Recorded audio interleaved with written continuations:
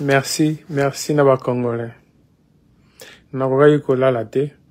sans kosala live mpo na koremercie bino na soutien na bino na bapriere na bino toye états-unis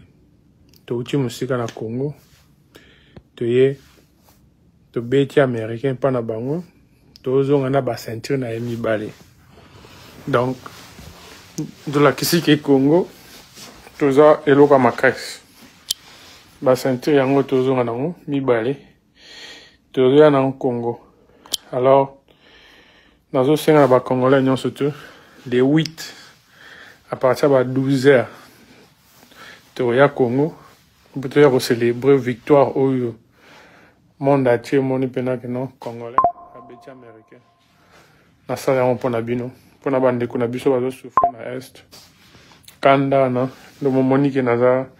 na mwa pota na lisu me nakokaki kolala te sans kosala mwa live oyo mpo na kopesa bino merci mingi Merci na encouragement, merci na ba message, sans oublier les, les premiers sportifs, président de la République pour notre soutien na ye. En tout cas, nazangi eloko koloba. Nazangi maloba. Oyo nakoki koloba na bino eza merci. Bo continuer ko soutenir nga. Bomoni nde nazobunda na nga moko sans sponsor, sans soutien, mais nazosala kaka lokumu ya mboka. toza wana mpo na koteka positivité ya bajeune na biso mboka na biso il fallait congolais ayeba ke non toza capable tokoki kochange mboka toza capable tokoki bajeune batika koseuste komimona nati baza eloko te kose sous-estime donc so ozwi décision ya kosala eloko okoki kosala yango lelo preuve ande ke nauti sans soutien sans bato naye na états-unis nabeti champion na bango nabotoli batitre na ye toya nango kongo mpona kofete nasengi bino bopartage lave oyo le 8 bonote bien le 8 donc boya ebele na aéroport ya ndili boya koyamba champion na bino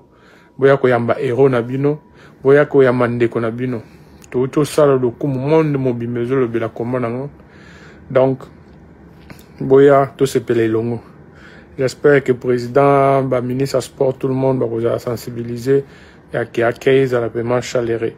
nasepeli mingi naza na temps ebele te mwa douleur eza na liso nameka kopema toza deja 0 heure bopartage mwa message oyo ekomela bandeko na ngai nyonso to bobosana te ko s'abonner na ba page na nga boyemaka biloko na nga bopartageaka mpo ke bato bamona ke naza na soutien kowuta mboka na nga ezosala force na biso nyonso tu eza te ke mpo na nga mogo ezosala force na biso nyonso tu bacongolais tozala bomoko tokolonga le congo gagne toujours